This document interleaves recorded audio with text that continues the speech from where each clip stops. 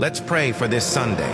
Dear God, I come before you today with a heart full of thankfulness for the gift of a new day. Your mercies are renewed each morning, and I am grateful for the opportunity to experience your love afresh.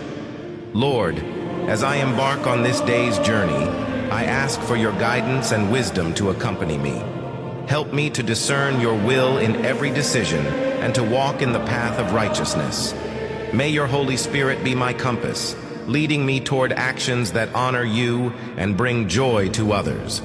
Grant me the strength to face the challenges that may come my way, knowing that you are my ever-present help in times of need. May your peace fill my heart, dispelling any anxiety or fear that threatens to overshadow your light. Father, I pray for your blessings to rest upon my loved ones today.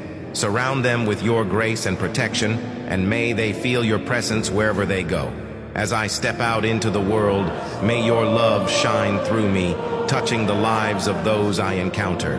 Help me to be a beacon of hope and encouragement, reflecting your compassion and kindness to all who cross my path.